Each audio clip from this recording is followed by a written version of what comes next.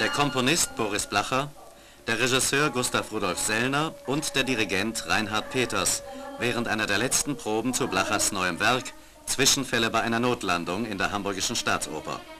Eine Reportage für Elektronik, Instrumente und Sänger.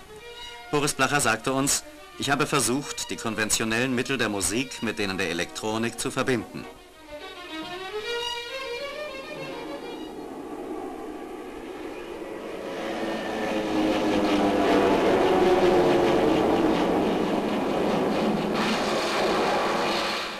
Der Autor der Reportage, Heinz von Kramer. Es ist also eine Reisegesellschaft, die diesen Flugzeugabsturz und die Notlandung äh, überlebt hat. Und sie befinden sich in einer Wildnis, eigentlich sich selber ausgeliefert.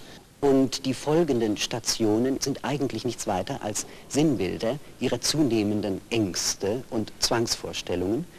Eine Verdichtung sozusagen dieser Grundsituation. Ein Wissenschaftler hält die Reisegesellschaft gefangen. Er demonstriert die Macht seiner computerähnlichen Maschine an Lebewesen. Impulse, also auf Licht und Klang. Schauen Sie gut hin. Schauen Sie gut hin, meine Damen und Herren. Mein Kommando lautet Kollision, Höhe, Abstürzen. Lieber Knecht aber weich zurück. Ich kann ihn nicht zwingen. Ich kann nicht.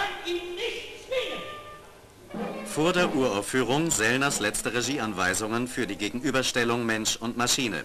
Vielleicht der Blick in eine erschreckende Zukunft, in der der Mensch zum willenlosen, lenkbaren Werkzeug wird. Mein Befehl, Kollision.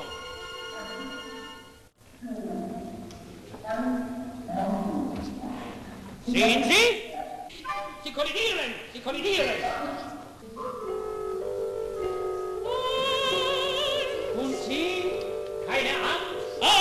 Beginnt, wo das Denkvermögen aufhört. Das bedeutet Diktat der Maschine.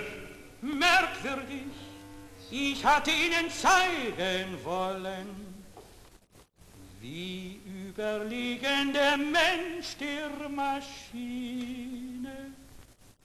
ist.